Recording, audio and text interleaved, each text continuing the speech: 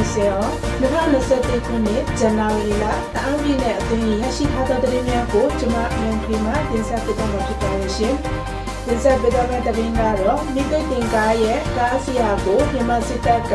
တနက်ပစ်ခတ်ပြီးငွေတောင်းခံတဲ့သတင်း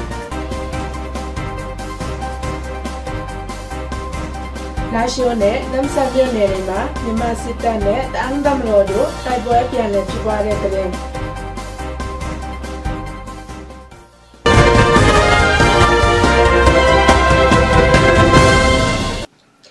တင်ဆက်ပြမဲ့တရင်ကတော့မိသွေးတင်ကားရဲ့ကားစီယာကိုမြန်မာစစ်တပ်က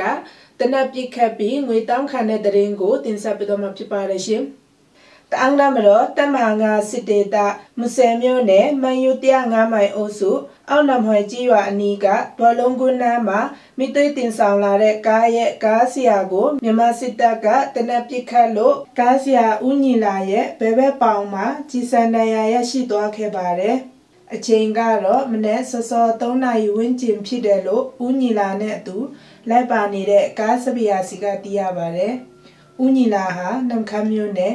လဲလောက်ကြီးရွာစာတီးဖြစ်ပြီးမိသားစုစာဝန်နေရေးဖြစ်ရှိမှုအတွက်နမကာကနေနှုံတောဘက်ကိုမိသွေးရောင်းဖို့မိသွေးတင်ကားကိုမောင်းသွားပါတယ်။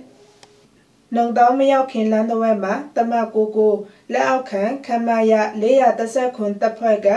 လက်မပေါ်မှာစောင့်ဆိုင်ပြီးတော့ဥညီလာကိုကာယခိုင်းပါတယ်။မောင်းလာတဲ့ကားအရှိန်ကချက်ချင်းမရက်တန်းနိုင်လို့မြမစစ်တပ်ကကားကိုတနက်နဲ့ပြစ်ကတ်ခဲ့ပါတယ်။ထိုပြစ်ခတ်မှုကြောင့်ကားဆရာဦးညီလာကြည်စံထိမှန်ပြီးဒဏ်ရာရရှိခဲ့ပါတယ်။ဒဏ်ရာရရှိတဲ့ကားဆရာကိုမြန်မာစစ်တပ်က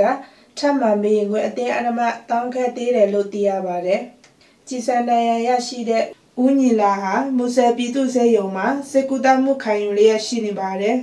။နောက်တစ်ပုတ်အနေနဲ့လာရှိုးနဲ့နမ်ဆာမြို့နယ်တွေမှာမြန်မာစစ်တပ်နဲ့တအန်းဒမတော်တို့တိုက်ပွဲပြန်လည်ဖြစ်ပွားတဲ့တရင်ကိုတင်ဆက်ပေးတော့မှာဖြစ်ပါတယ်ရှင်။တအန်းနမတော်တမဟာ6စစ်ဒေတာ လာရှိုးမြို့နယ်နဲ့တမဟာနေစစ်ဒေတာနမ်ဆာမြို့နယ်တွေမှာဒီတပတ်အတွင်းမြန်မာစစ်တပ်ကတအန်းတမတော်ကိုထိုးစစ်ဆင်တိုက်ခိုက်လာနေလို့တိုက်ပွဲတွေပြန်လည်ဖြစ်ပွားနေပါတယ်။လာရှိုးမြို့နယ်မှာဆိုရင်တော့တာယော်ကြီးရွာအနီးမှာဇန်နဝါရီလ19ရက်နေ့ညနေပိုင်း4:28မိနစ်အချိန်မှာမြန်မာစစ်တပ်ကတအန်းတမတော်ကိုထိုးစစ်ဆင်တိုက်ခိုက်ခဲ့ပါတယ်။ဆက်လက်ပြီးဇန်နဝါရီလ21ရက်နေ့ နနက်8:15မိနစ်အချိန်မှာလဲမြန်မာစစ်တပ်တမတရတိခလာရ156ကနမ်ဆာမျိုးနဲ့လပိုင်ကြီးရွာအဘဲမှာလှုပ်ရှားနေတဲ့တအန်းတမတော်ကိုထမှန်ထိုးစစ်ဆင်တိုက်ခိုက်လာခဲ့ပြန်ပါတယ်။တအန်းတမတော်ဟာညီနောင်မမိတ်သုံးဖွဲ့နဲ့အတူဇန်နဝါရီလတရက်နေ့မှာအပြစ်ခတ်ရက်စဲရေးတတနလထမှန်တိုးမြင့်ထားပေမဲ့လည်းမြန်မာစစ်တပ်ဘက်က ထိုစစ်ဆင်တိုက်ခိုက်လာတဲ့အတွက်ပြန်လည်ခုခံကာကွယ်နေရတာဖြစ်ပါတယ်။မြန်မာစစ်တပ်ရဲ့ထိုစစ်တွေကြောင့်ဒီဒလအတွင်းမှာမြန်မာစစ်တပ်နဲ့တအန်းသမတော်တို့တိုက်ပွဲ၅ကြိမ်ဖြစ်ပွားခဲ့ပြီးဖြစ်ပါတယ်။ကျေးဇူးတင်ပါတယ်ရှင်မိဘပြည်သူများအားလုံးကိုစိတ်နှပြကျမ်းမာရှင်လန်းကြပါစေရှင်။